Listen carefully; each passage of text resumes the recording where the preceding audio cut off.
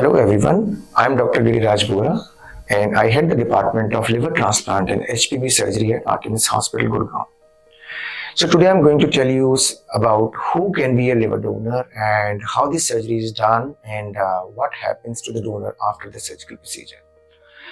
So first talking about who can be the liver donor. So according to Transplantation of Human Organ Act, the donor should be uh, more than 18 and less than 55 years of age. And according to Transplantation of Human Organ Act, the donor should be either first degree or second degree relative of the patient. Now, uh, many people ask us about how the surgery is done, how safe it is for the donor and what happens to the donor after the surgical procedure. So to begin with, I mean, you know, surgery is uh, extremely safe with a with a uh, risk, I'll say, uh, less than less than 0.5 percent to the to the donor.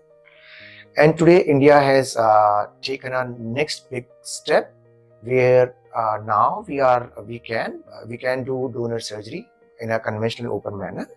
But if the family has resources, financial resources, and the center has expertise, one can also do donor surgery by both laparoscopic, which is by keyhole means, and also by, by a Da Vinci robot. So what is the difference between surgery which is done by conventional open technique versus those done by either laparoscopic means or by a Da Vinci robot?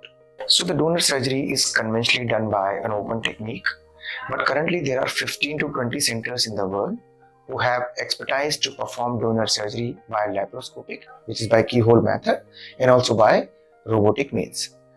So the advantages of performing surgery by laparoscopic or by robotic means is that there is there is small scar as compared to the open surgery, there is less pain, and also donors can uh, resume their normal activities much earlier as compared to when you do this when you perform your surgery by open technique. We at Artemis Hospital perform around uh, 12 to 15 liver transplants in a month.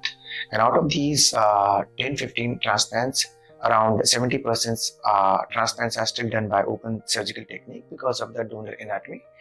And sometimes the financial uh, issues uh, which, are, which are related to this operation.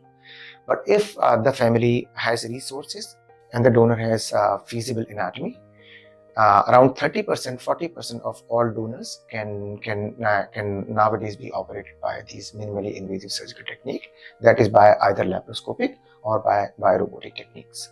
If you have any questions regarding your liver illness or you want to know more about liver transplantation, you can always contact Artemis Hospital or Cure India website and we will be more than happy to help you in, in every aspect of uh, your, your illness. Thank you. If you are interested in treatment in India, please subscribe to our channel and press the bell icon to never miss a new video from us.